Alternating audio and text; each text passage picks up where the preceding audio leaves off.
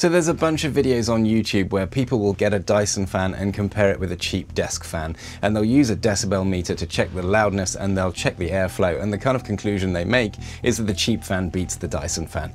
But actually what's going on is they're just missing out on a whole bunch of key differences to make that point and get the views. And in this video, I'm going to talk about my experience with these Dyson fans. This isn't sponsored by Dyson in any way. I bought these fans with my own money, and I've used them for a number of years in this house. And there is real value in the engineering in these fans and I'm going to explain why in this video. And what's really interesting is some of the things I've discovered in researching this video actually show that using a cheap fan can actually be quite seriously damaging to your health. We're going to get onto that in a second. This channel documents my attempts at kind of optimizing day-to-day -day experiences through good product design and interesting workflows.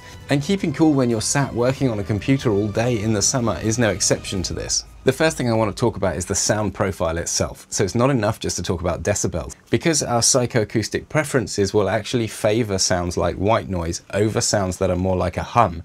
And if you've ever lived with a cheap desk fan, you'll know the sound they make really is very much like a hum. Whereas with a Dyson fan, the sound is completely different. It's not like a typical fan at all. Sure, the decibels might still be there, but it's just so much more pleasant to listen to. It does just sound like white noise. And a lot of people actually seek white noise because they find it so soothing to listen listen to. So that's a really significant point and it's just obviously overlooked if you're just comparing on decibels alone. So there's so much crazy design engineering that's gone into these things to make them sound as pleasant as they do. They use Helmholtz cavities to adjust certain frequencies and balance things out. The impeller design itself has got weird shapes on the ends of the fins to change the way that sounds. And the design is asymmetrical so that it harmonizes and balances out this sound and all of this really interesting stuff to make these things sound as good as they do. And if you ever compare them side by side, it it's immediately obvious. I think one of the biggest oversights of these kinds of videos is they compare Dyson fans that have purifiers in them with a normal fan that doesn't do any purifying. Of course, the implication of that is the Dyson fan has to work so much harder because it's sucking air through a filter. So obviously the filter is going to restrict the airflow, so expecting it to deliver the same kind of airflow without a penalty in noise is a bit of an unfair expectation to start with. And now we're getting into where the real value lies. So the fact that they purify the air indoors is actually really significant. Obviously people think about air purifiers purifiers in their room as a way of improving the air quality in their room. And they might buy a purifier, which will just sort of slowly circulate the air in the room, purifying it. And that's great.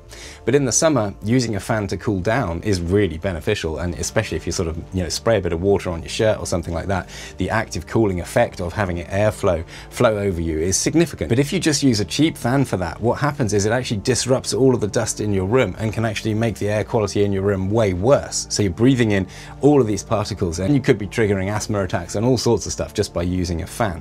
So you need a fan and a purifier to combat that issue. Well, the Dyson, of course, is just one product. So when you frame it like that, and you start to think in terms of if you are going to use a fan, that you absolutely should have a purifier to combat the effect of all of the dust being blown around in your house, then the price of the Dyson fan starts to look much more reasonable as well. And the interesting thing about this is the 2.5 micron size particles, the ones that are really detrimental to our health, are the ones that stay airborne for longest. So if you're disrupting them and putting them all into the air with a fan, they're going to stay in the air in your room for a really long time. So if you're concerned about this 2.5 micron size particle matter in the air, the nice thing about the Dyson fan is that it'll actually show you the levels of that stuff in your air.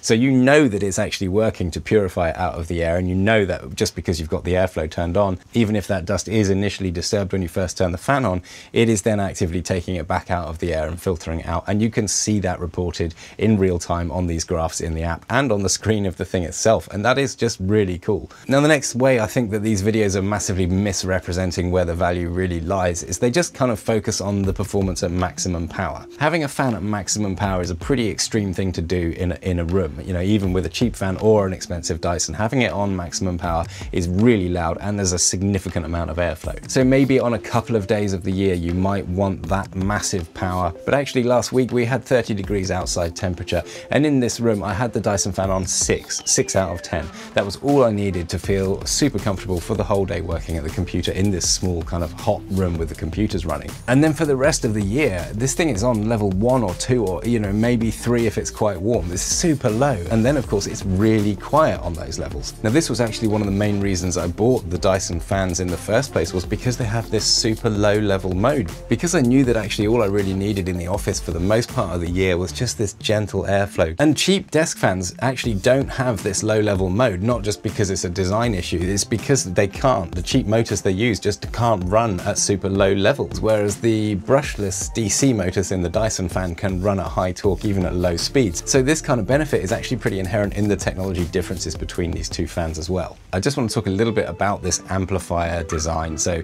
when they first launched these fans, they did make a big song and dance about how this kind of bladeless design amplified the airflow and all of this. And I think that is probably the bit that is the most overhyped. But it doesn't really matter because there's no real penalty for it. It's still a pleasant airflow. And of course, if you're thinking about a device that's a purifier and a fan, there has to be a place where the filter is and it has to suck air through the filter. So you kind of need to have this system where you've got the filter in one place and then it expels the filtered air. So the whole approach is actually really logical and it makes sense that they would use this amplifier design where the idea is the air coming out from the ring actually draws additional air through and increases your airflow. But of course the reality is any airflow from any fan is still going to have that kind of effect where it will suck additional air in with it. So I don't think you're getting any crazy advantage as a result of that. So in the base of the fan with all these little tiny holes behind there, there's actually these replaceable filters and that's where it draws all of the air in and then it, and then the impeller in that area will actually then build up pressure and then push out the air through the ring and that's how it all works. Now what's interesting about that is it's actually quite a different approach to the way a normal fan works with the big blades, which essentially just sort of you know throw air at you as those big blades turn. Well the impeller design inside the Dyson fan is designed to actually build static pressure as well as airflow. Normally a fan will either be good at static pressure or airflow.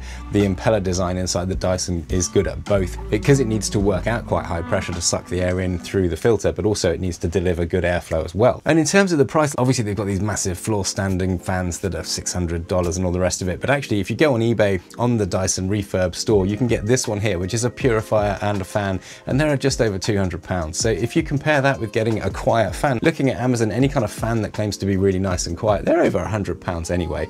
And then you're just gonna throw all the dust around in your house. So then you need a purifier as well. Again, you're easily looking over 100 pounds for a nice one of those. So the price of these Dyson fans, I don't think is actually that bad either, as long as you don't kind of follow the, the upsell path and get their most expensive models. So I really don't think Dyson fans are any kind of scam. Uh, there is some really interesting, fascinating engineering there, but sometimes big brands do use their marketing power to sell ideas that really don't actually stack up when you look closely at them. And an example of that is Gore-Tex raincoats. So watch this video next, where I look at how actually that is really quite a deceptive marketing strategy. And there's some really interesting science behind that too. So I'll see you there.